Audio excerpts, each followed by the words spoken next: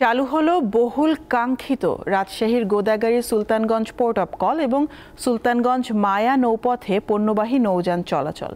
এই পথে বাংলাদেশ ভারতের আমদানি রপ্তানি বাড়ার পাশাপাশি সময় ও খরচ কমবে বলে মনে করছেন দুই দেশের ব্যবসায়ী।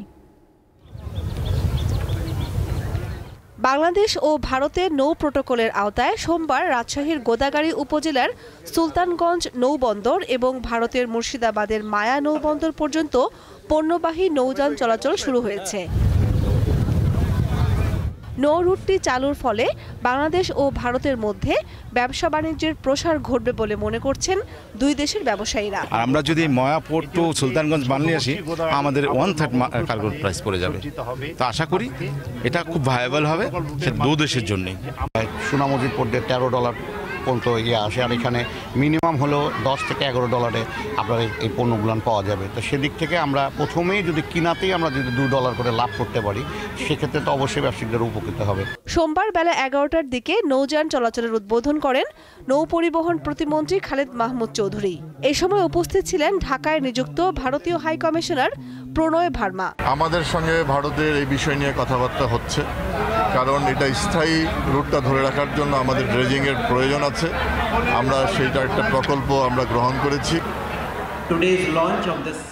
এটি কেবল সীমান্তের দুই পাশের স্থানীয় অর্থনীতিকে সমৃদ্ধই করবে না জাতীয় অর্থনীতিতেও অবদান রাখবে।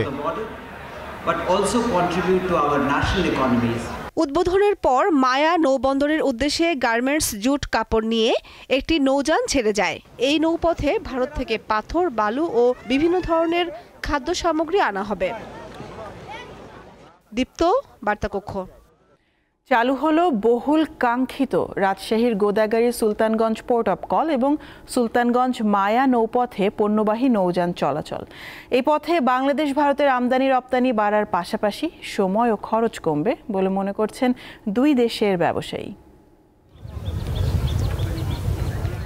বাংলাদেশ ও ভারতের নৌ প্রোটোকলের আওতায় সোমবার রাজশাহীর গোদাগাড়ি উপজেলার সুলতানগঞ্জ নৌবন্দর এবং ভারতের মুর্শিদাবাদের মায়া নৌবন্দর পর্যন্ত পণ্যবাহী নৌযান চলাচল শুরু হয়েছে।